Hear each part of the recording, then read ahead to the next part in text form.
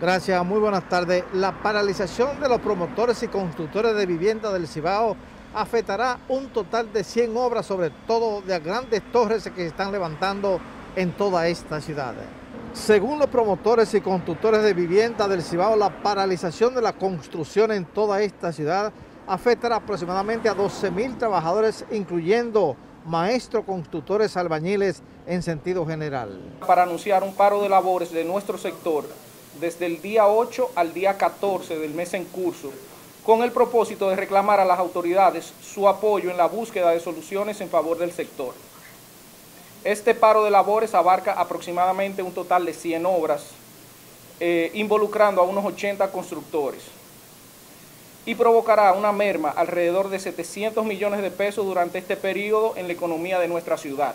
Quienes intervienen en esta actividad entienden que el gobierno, así como está provocando baja en los precios de los artículos de consumo diario que se produzca también en el área de la construcción. Que haya un monitoreo como se monitoriza el pollo, el huevo, el arroz, todos esos insumos, porque también la vivienda es una necesidad que tiene la familia.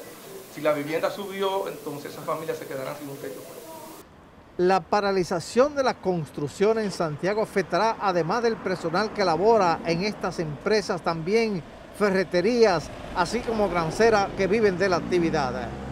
Esto es todo en esta parte. Vuelvo con ustedes al Centro de Noticias.